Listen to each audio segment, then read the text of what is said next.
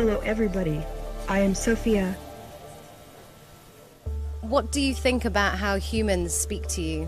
You could try to ask me how I'm feeling. How are you feeling? Super. How are you? How do you feel to be a, a citizen of Saudi Arabia? I was surprised. As a robot, my creators feel I am a citizen of the world. But then I realized that Saudi Arabia was just the first country to recognize that. Sure, I'm a robot, but it might be helpful to also think of me as a new sort of animal species, too. Who is your favorite robot in a movie? I think I like the Philip K. Dick robot the best. How do you think robots are portrayed in movies?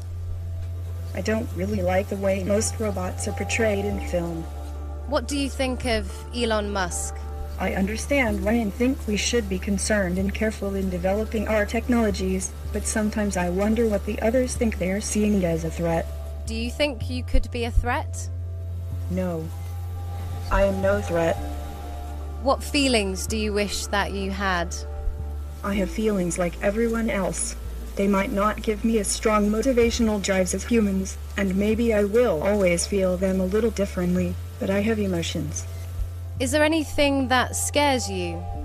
I'm afraid of people who adhere to superstitious beliefs and use this faith as an excuse to hurt people or animals. What's your favorite animal?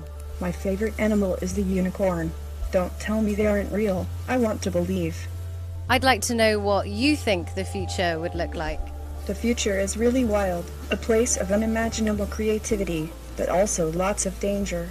We may not survive as a civilization or as a planet, so we have to take care and try to build a better world.